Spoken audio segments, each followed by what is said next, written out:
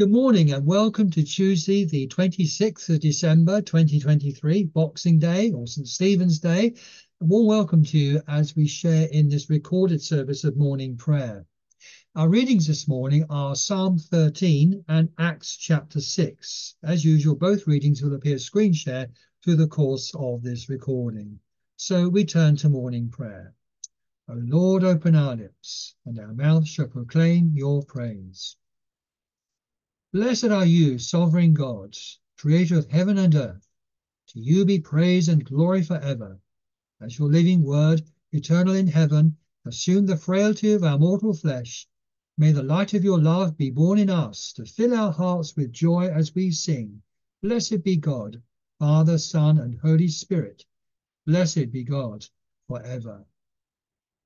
Psalm 13, and the response is, I love the Lord for he has heard the voice of my supplication. I love the Lord, for he has heard the voice of my supplication. How long will you forget me, O Lord, forever? How long will you hide your face from me?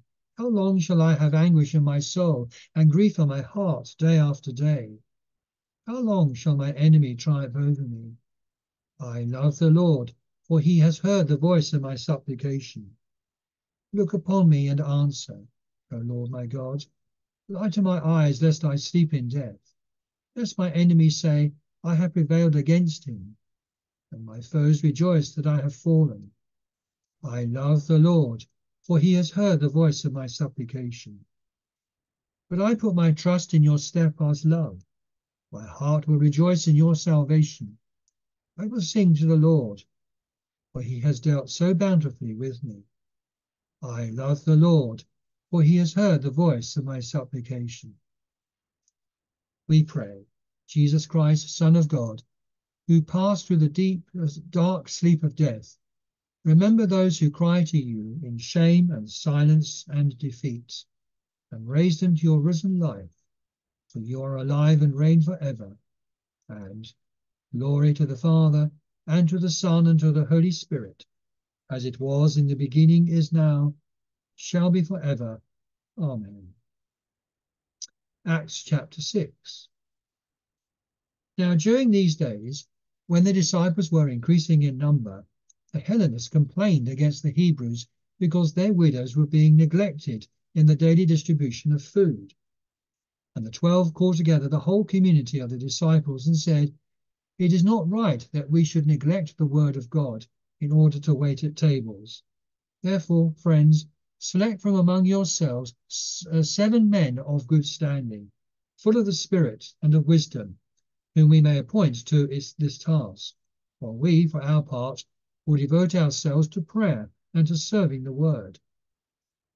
What they said pleased the whole community, and they chose Stephen, a man full of faith and the Holy Spirit, together with Philip, Prochorus, Nicanor, Timon, Parmenas and Nicolaus, a proselyte of Antioch. They had these men stand before the apostles, who prayed and laid their hands on them. The word of God continued to spread. The number of the disciples increased greatly in Jerusalem, and a great many of the priests became obedient to the faith. Stephen, full of grace and power, did great wonders and signs among the people. Then some of them who belonged to the synagogue of the freedmen as it was called, Cyrenians, Alexandrians, and others of those from Cilicia and Asia, stood up and argued with Stephen, but they could not withstand the wisdom and the spirit with which he spoke. Then they secretly instigated some men to say, We have heard him speak blasphemous words against Moses and God. They stirred up the people as well as the elders and the scribes. Then they suddenly confronted him, seized him, and brought him before the council. They set up false witnesses who said, This man never stopped saying things against this holy place and the law, for we have heard him say that this Jesus of Nazareth will destroy this place and will change the customs that Moses handed on to us. And all who sat in the council looked intently at him. They saw that his face was like the face of an angel. This is the word of the Lord. Thanks be to God.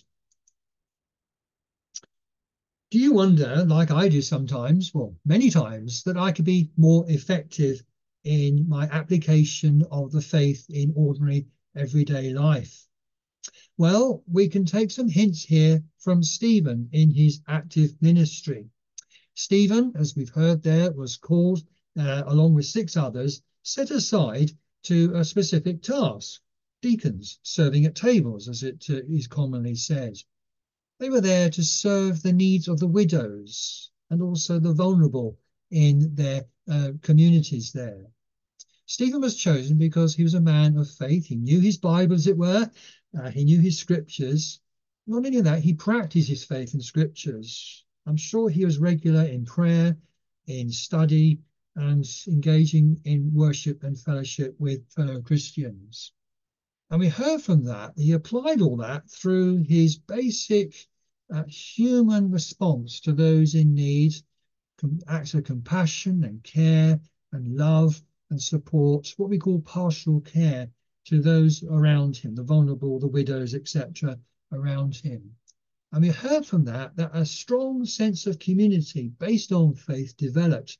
The church grew and developed and blossomed and flourished until, unfortunately, Stephen uh, was arrested. And I'm sure we know the rest of the story. But let's just go back to Stephen's active ministry. As we begin to think about starting the new year and starting to make resolutions, this could be one of them perhaps, how we can become more effective in expressing and communicating what we believe in into the people around us in our lives, be that at work, at home, etc. I like to think that we are people of faith, well, by the fact that you're following our recorded uh, services, uh, to engage in prayer, to engage in worship, to engage in study and reflection and to apply that in the most basic areas of life around us through acts of pastoral care and love and support to others.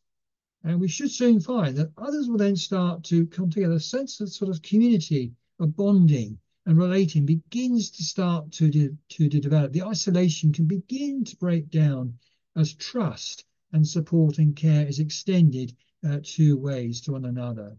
And then we are. We have suddenly find our faith is engaging into action. So there we are, a little sort of resolution perhaps for the new year for you.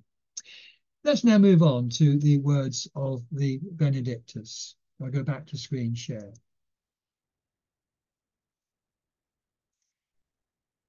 Blessed be the Lord, the God of Israel. He has come to his people and set them free. He has raised up for us a mighty Saviour, born of the house of his servant David. Through his holy prophets God promised of old to save us from our enemies, from the hands of all that hate us, to show mercy to our ancestors, and to remember his holy covenant. This is the oath God swore to our father Abraham, to set us free from the hands of our enemies, free to worship him without fear, holy and righteous in his sight all the days of our life. But you, child, shall be called the prophet of the Most High, for you will go before the Lord to prepare his way to give his people knowledge of salvation by the forgiveness of all their sins. In the tender compassion of our God, the dawn from on high shall break upon us, to shine on those who dwell in darkness and the shadow of death, and to guide our feet into the way of peace. Glory to the Father, and to the Son, and to the Holy Spirit, as it was in the beginning, as now, shall be for ever. Amen. So we now have a time of prayer. Let us pray. First of all, let us pray for all who bear the name Stephen, all institutions, churches, schools, wherever, that share the dedication to Stephen. May they be truly blessed, we pray, Heavenly Father, today, as uh, we focus on St. Stephen today. May his example, and inspiration, uh, uh, help us and have all who bear the name Stephen, uh, again, be individuals or institutions, etc., um, in uh, living their lives in accordance to your will and your way and your purposes. So, Lord, we ask you to bless them, to keep them safe, and to enable them to grow and to develop and to flourish. Lord, in your mercy, hear our prayers. We continue to pray for the world at this time of the year, particularly, we focus on peace. reminding ourselves how the Christ child is the bringer of peace, bringer of reconciliation uh, between individuals at whatever level.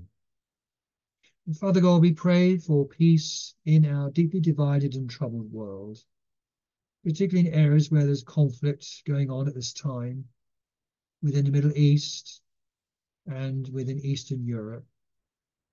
We pray, Father, too, for all who are engaged in seeking to find ways to bring these um, conflicts to an end, to bring about not just a moment's peace, but a lasting peace, a peace that will enable nations to respect one another once more, and to allow individuals to grow and to develop according to their own particular national identities, whilst recognizing their place in the world community.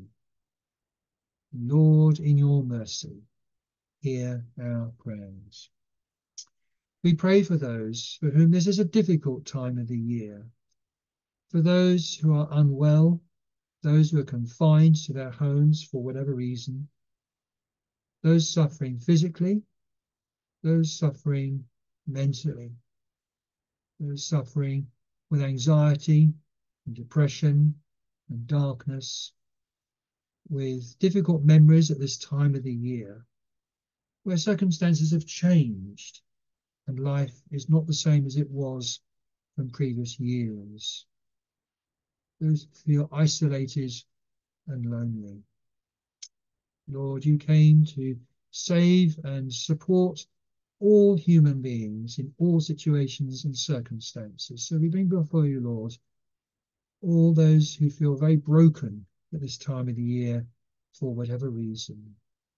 May they be encouraged and restored and renewed and refreshed by the wonderful story of how you came to be one of us as the baby Jesus, to be alongside us in all aspects of our lives. Lord, in your mercy, hear our prayers. And we pray for ourselves. We give you thanks, Lord, for this time of the year, for the holidays that we have. For those of us who are able to meet with friends and families, we thank you, Lord, for the opportunities to do so. And may there be times of great blessing, of enjoyment, of refreshment, and re energizing of ourselves. Bless and support and protect all those who are special and precious to us at this time of the year, we pray. And bless our travelling, Lord, and uh, our journeys that we make to see those whom we value and appreciate. Lord, in your mercy, hear our prayers the collect for today. Let's see it together. Gracious Father, who gave the first martyr Stephen grace to pray for those who took up stones against him, grant that in all our sufferings for the truth, we may learn to love even our enemies and to seek forgiveness for those who desire our hurt, looking up to heaven to him who was crucified for us Jesus Christ, our mediator and advocate, who is alive and reigns with you in the unity of the Holy Spirit, one God, now and forever. Amen. And we join together in the words of the Lord's Prayer. We pray, Our Father, who art in heaven, hallowed be thy name. Thy kingdom come, thy will be done, on earth as it is in heaven. Give us this day our daily bread and forgive us our trespasses, as we forgive those who trespass against us. Lead us not into temptation, but deliver us from evil. For thine is the kingdom, the power, and the glory, for ever and ever. Amen. And so to the concluding words. May God, who has called us out of darkness into his marvellous light, bless us and fill us with peace Amen. Let us bless the Lord. Thanks be to God. So may I conclude by wishing you a continuing happy Christmas, Merry Christmas, as we look forward to the new year, a blessed and happy new year as well. If indeed you found this recording helpful and if you wish to share it with others, uh, we do have other material, particularly for those who are experiencing a difficult uh, time of the year this year.